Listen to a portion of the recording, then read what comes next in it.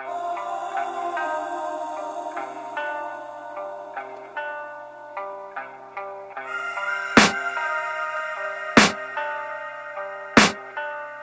can hear the demons call when they do what they do And now I feel like taking off, find a place with a view. The pain is never gonna stop if it's controlling you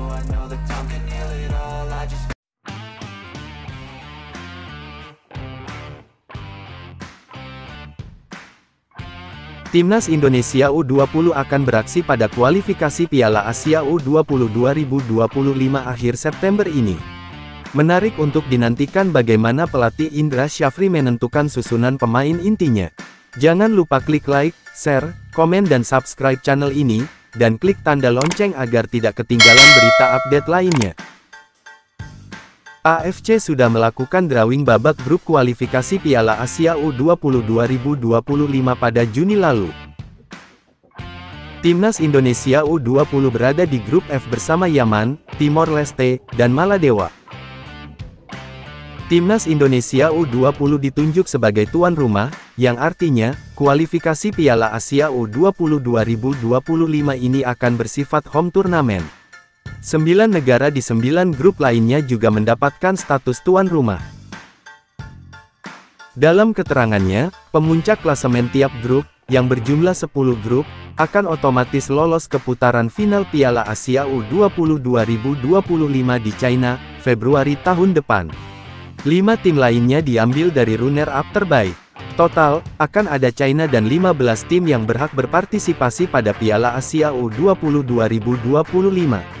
Oleh karena itu, penting bagi timnas Indonesia U20 untuk memanfaatkan kualifikasi Piala Asia U20 2025 ini sebaik mungkin. Berikut prediksi pemain timnas Indonesia U20 untuk kualifikasi Piala Asia U20 tahun 2025. Pada posisi penjaga gawang akan diisi oleh Iram Al-Ghifari, usia 18 tahun, tinggi badan 182 cm, asal klub Semen Padang FC. Fitra Maulana Ridwan, usia 17 tahun, tinggi badan 186 cm, asal klub Persib Bandung.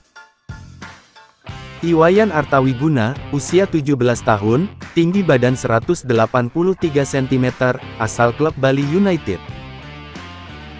Rifki Tovani, usia 18 tahun, tinggi badan 178 cm, asal klub Malut United. Berikutnya posisi pemain belakang akan diisi oleh Kadek Arel, usia 19 tahun, tinggi badan 185 cm, posisi utama bek tengah asal klub Bali United. Sultan Zaki Pramana, usia 18 tahun, tinggi badan 187 cm, posisi utama bek tengah, asal klub PSM Makassar. Iqbal Wijangge, usia 18 tahun, tinggi badan 185 cm, posisi utama bek tengah, asal klub Barito Putra. Fere Murari Al-Bahar, usia 19 tahun, tinggi badan 179 cm, posisi utama bek tengah, asal klub Bayangkara FC. Dion Marks, usia 19 tahun, tinggi badan 188 cm, posisi utama bek tengah, asal klub Nijmegen U21 Belanda. Mesal Hamzah, usia 19 tahun, tinggi badan 183 cm, posisi utama bek tengah, asal klub PSBS Biak. Alexandro Kamuru, usia 19 tahun, tinggi badan 170 cm, posisi utama bek kiri, asal klub Barito Putra. Tim Dwi Pens, usia 19 tahun, tinggi badan 184 cm, posisi utama bek kiri, asal klub FC Emmen Belanda. Berikutnya posisi pemain tengah akan diisi oleh Vigo Denis, usia 18 tahun, tinggi badan 174 cm, posisi utama gelandang bertahan, asal klub PSIM Yogyakarta. Welber Jardim, usia 17 tahun, tinggi badan 180 cm, posisi utama gelandang tengah, asal klub Sao Paulo U17 Brazil. Darel Valentino, usia 19 tahun, tinggi badan 178 cm, posisi utama gelandang tengah, asal klub Malut United. Tony Firmansyah, usia 19 tahun, tinggi badan 167 cm, posisi utama gelandang serang, asal klub Persebaya Surabaya. Taufik Rustam, usia 19 tahun, tinggi badan 165 cm, posisi utama gelandang serang, asal klub Bekasi City. Jidan Bin, usia 18 tahun, tinggi badan 177 cm, posisi utama gelandang serang, asal klub Bayangkara FC. Sam Ivel, usia 19 tahun, tinggi badan 184 cm, posisi utama gelandang serang, asal klub Nakbreda U21 Belanda.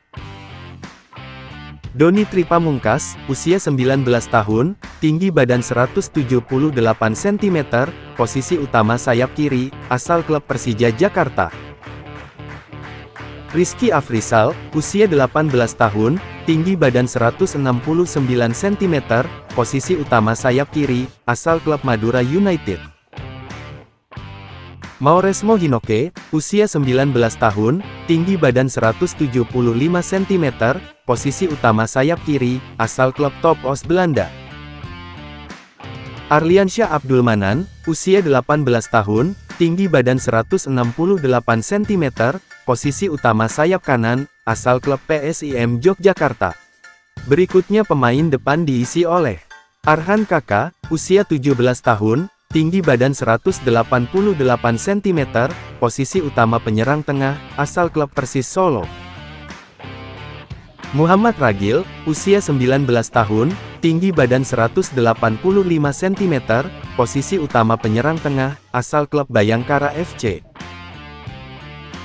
Mufli Hidayat, usia 19 tahun, tinggi badan 172 cm, posisi utama penyerang tengah, asal klub PSM Makassar.